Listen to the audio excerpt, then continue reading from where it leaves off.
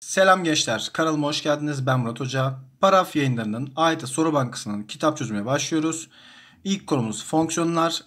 Birinci teste başlayalım bakalım. Birinci sorumuz. Hangisi azalandır diye soruyor arkadaşlar. Birkaç tane fonksiyon vermiş. Şimdi arkadaşlar azalandır artandır sorularında eğer ki zaten fonksiyon veriyorsa bilin ki teker teker hangi çeşit fonksiyon olduğunu karar vermeniz yeterli. Eğer ki fonksiyon birinci şıkta olduğu gibi eğer ki doğrusal bir fonksiyonsa eğimi kontrol edeceksiniz. Eğer ki fonksiyon unutmayın doğrusal fonksiyonsa eğim kontrol yapılacak. Eğim demek ne demek? Doğrusal fonksiyonlarda x'in katsayısı demek. Eğer ki x'in katsayısı sıfırdan büyükse fonksiyon artan, sıfırdan küçükse fonksiyon azalandır. E baktık x'in katsayısı sıfırdan küçük olduğuna göre fonksiyon daima azalandır. Bu doğru.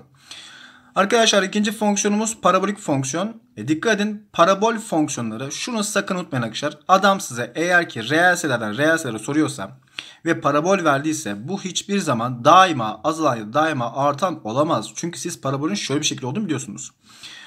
Şimdi şuradaki ifade bakarsanız x eksi 3'ün karesinin parabolik şekli şu şekilde arkadaşlar. Şu şekilde. E, fonksiyon eksi sonsuzdan 3'e kadar azalmış ama 3'ten sonra artmış. Dolayısıyla bu ifade daima azalan değil. Son ifade üstel fonksiyon. Üstel fonksiyonlar neyin kontrol yapacaksınız? Arkadaşlar üstel fonksiyonlar şunu kontrol yapacaksınız. Üstel fonksiyonlarda unutmayın fonksiyon 0 ile 1 aralığında mı? 1'den büyük mü? Eğer ki taban 0 ile 1 aralığındaysa o fonksiyon daima daima azalan olur. Ama fonksiyon birden büyük bir ifade ise tabanı tabanı birden büyük bir ifade ise o fonksiyon artandır. E şurada 2 üzeri eksi x'ten dolayı ben bunu 1 artı 1 bölü 2 üzeri x şeklinde yazamaz mıyım? Bu durumda tabanımız 0 ile 1 arasında olduğu için bu fonksiyon daima azalan bir fonksiyon oldu. Cevabımız da 1 ve 3 geldi. Geçtim ikinci soruya. Şimdi ikinci soruda bir grafik vermiş. Grafikte azalan olduğu yerleri soruyor. E bu daha basit. Nasıl daha basit? Arkadaşlar grafikte azalan olan yerler demek grafiğin aşağı doğru indiği yerler demek. Dikkat edin eksi sonsuzdan eksi 1'e kadar eksi 1 dahil değil yalnız dikkat edin. Eksi 1'e kadar grafik aşağı doğru inmiyor mu? Evet. O zaman grafiğin azalan olan yerleri eksi sonsuzda eksi 1 arasındadır deriz. Geldik 3. soruya. Bir fonksiyon vermiş x eksenini o noktada kestiğine göre diyor. Buna göre a kaçtır? Arkadaşlar x eksenini o noktada kesiyorsa fonksiyonun o noktayı sağlaması lazım. Peki fonksiyonun o noktayı sağlaması demek ne demek? x yerine soldakini yaz. Sonuç sağdaki olacak demek. x gördüğüm eksi 3 yazıyorum. Eksi 3'ün kübü eksi 27. Eksi 3 yerine yazdık. Eksi 3 çarpı 2 eksi 6a yaptı. Eksi 8 artı a eşittir sıfırdan.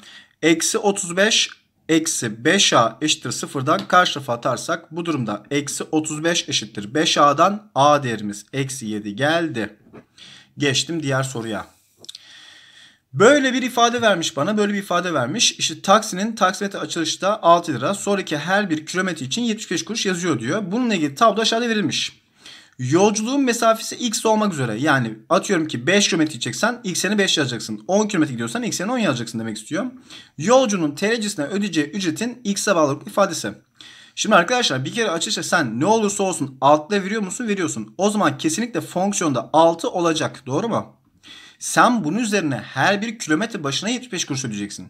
E şöyle düşün. 1 kilometre sen 75 kuruş ödemiyor musun? Evet. 1 çarpı 75 ödedin. 2 kilometre isen 2 çarpı 75. 3 kilometre isen 3 çarpı 75 kuruş ödeyeceksin değil mi? Peki bunun dikkat edin lira cinsinden değeri neye bağlı? Siz 75 kuruşu lira cinsinden 0.75 lira şeklinde yazmak zorunda değil misiniz? O zaman 1 kilometre itseniz 0.75 lira. 2 kilometre itseniz 2 çarpı 0.75'ten 1,5 lira. 3 kilometre itseniz 3 çarpı 0.75 verecek. E bana bunu veren x'li ifade x çarpı 0.75 değil mi? O zaman cevabımız Ceyhan geldi dersiniz. Geldik 5. soruya. Evet arkadaşlar yine basit bir soru. Hangisinde fonksiyon negatiftir diyor. Yapacağınız şey şu. Fonksiyonun y eksenine göre negatif olan kısmını bulmanız yeterli. Eksi 7 ile eksi 4 aralığı hemen bakalım. Eksi 7 şurası. Eksi 4 burası olsun.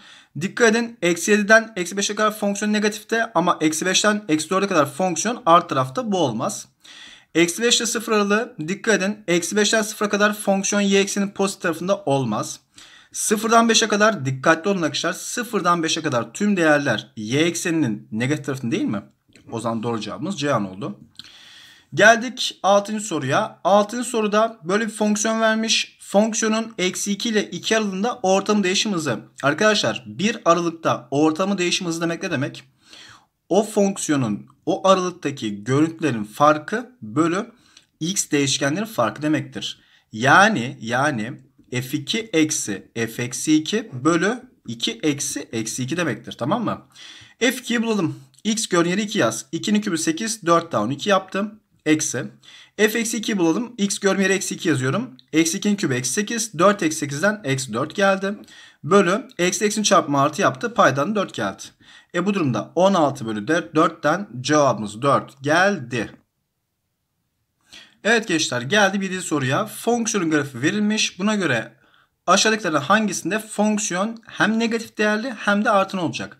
Arkadaşlar grafiklerde artanlık demek ne demek? Unutmayın yukarı doğru çıkan bir grafik demek. Peki negatif değerli olması demek ne demek? Y eksenin negatif bulması demek. Şimdi aralıklara teker teker bakalım. Eksi 11 ile eksi 5. Eksi 11 ile eksi 5 arasında dikkat edin grafik doğru. Yukarı doğru çıkmış yani artan ama y eksenin pozitif tarafında olmadı. Geçtim. Eksi 5'ten 0'a kadar grafik dikkat edin aşağı doğru iniyor. Bu durumda grafik azalandır geçtik. 0 ile 4 arasında grafik aşağı doğru iniyor. Yani azalandır geçtik. 4 ile 8 arasında dikkat edin arkadaşlar fonksiyon artan. Artan olmasa karşılık hem de görüntüleri y ekseninin negatif tarafına düştüğü için fonksiyon negatif değerlidir. Dolayısıyla doğru cevabımız Denizli yaptı. Geçtim 8. soruya. 8. soruda böyle bir grafik vermiş. Buna göre yargılar istiyor. 1. F fonksiyonu tanımlı olduğu yerlerde pozitif değerlidir. Yanlış. Niye? E, y eksenin negatif tarafına bakın. Dikkat edin. Görüntüler y eksenin negatif tarafına düşmemiş mi arkadaşlar? E bu durumda sen fonksiyonu y eksenin negatif düşünüyorsan o fonksiyon negatif değerli demektir. Birinci yargı gitti. İkinci yargı f fonksiyonu tanımlı olduğu yerlerde azalandır. Evet bu doğru. Neden? Çünkü grafik aşağı doğru iniyor bu cepte. F fonksiyonun tanımlı olduğu yerlerde kökü yoktur. Bu da doğru. Çünkü arkadaşlar grafikte kök olması demek unutmayın x eksenini kesen noktası olması demektir. x eksenini kesen nokta olması demektir. Tamam mı? Bunu unutmayın. Dolayısıyla cevap 2 ve 3 yaptı. Geldim diğer soruya. Aşağıda bir fonksiyon vermiş. Buna göre hangisi doğru diyor soruyu hemen bakalım. A şıkkı f artandır. Nerede? Eksi 3 ile 2 aralığında. Fonksiyon grafiği verilmişken artık öğrendik. Artı olması demek ne demek? Yukarı doğru çıkması demek. Azalan olması demek ne demek? Aşağı doğru inmesi demek. Eksi 3'ten, eksi 3'ten, eksi 3 nerelerde? Şuralarda bir yerde. 2'ye kadar yani şuralara kadar fonksiyon hep aşağı mı inmiş? Yukarı mı çıkmış arkadaşlar? Hayır. Eksi 3'ten 0'a kadar grafik aşağı inmiş. 0'dan 2'ye kadar yukarı çıkmış. Yani eksi 3'ten 0'a kadar azalan 0'dan 2'ye kadar artan. Bu yanlış. 2 ile 7 aralığında f azalan 2 burada 7 burada olsun. E 2 ile 7 aralığında grafik hep artmıyor mu arkadaşlar? Dikkat edin. Grafik hep artıyor. Dolayısıyla fonksiyon artan yanlış. Mutlak minimum noktası demek ne demek? Grafiğin alabileceği en küçük değer demek arkadaşlar. Çocuklar grafik en küçük değeri nerede almış? Dikkat edin şu noktada almış. E peki bu nokta y ekseni kesen nokta değil mi? Sen y ekseni kesen noktayı nasıl buluyorsun? Fonksiyonda x gördüğün yere sıfır yazarak buluyorsun. Sakın unutma. Yani yani benim şu noktam unutmayın sıfıra sıfıra f sıfır noktası e bu da gitti. Bu da gitti. 0 ile 4 aralığında f artandır. 0 burası 4 burası. E dikkat edin arkadaşlar grafik bu aralıkta hep yukarı çıkmıyor mu? Evet o zaman fonksiyon artandır. Denizli doğru. Geldim diğer soruya yavaş. Geldim diğer soruya. Fonksiyon grafiği verilmiş. Aralıkların hangisinde f fonksiyonu pozitif değerli ve azalandır? Hem pozitif olacağız yani y ekseninin pozitif kısmı bakacağız. Hem de aşağı doğru ineceğiz. Eksi 11 ile eksi 8. Dikkat edin. Aşağı doğru inmemiş attım. Eksi 8 ile eksi 3. Fonksiyon sabit fonksiyon düz ilerlemiş attım. Eksi 3 ile 0. Dikkat edin arkadaşlar. Hem aşağı doğru iniyorum. Yani hem azalan oluyorum hem de benim değerlerim mutlaka y eksenin pozitif kısmında kalmış. O zaman doğru cevap denizli dersiniz. Bir sonraki videoda görüşmek üzere. Kendinize iyi bakın.